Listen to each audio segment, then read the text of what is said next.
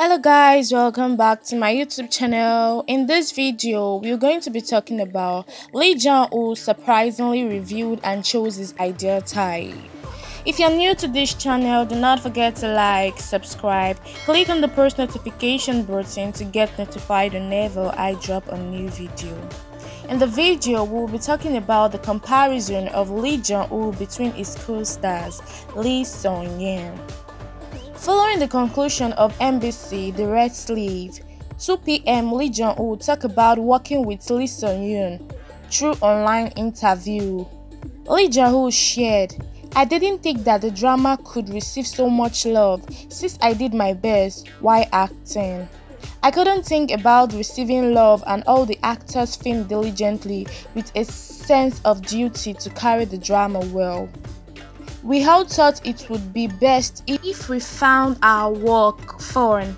So we pulled our head together and made our drama. In that aspect, we were able to communicate smoothly and figured that the drama viewers could feel the affection. I think that's why we received so much love. The actor also praised the actress Lee Se-young. He then stated, I was so comfortable on set and she's such a lovable and easygoing actress. While we were acting, we could barely express what we wanted, and she was someone I could comfortably share my opinion with. I think that is why we were creating the same the project. Our idea matches up well, even if we didn't discuss perfectly, and there were a lot of things we were able to organize just by looking at each other gazes.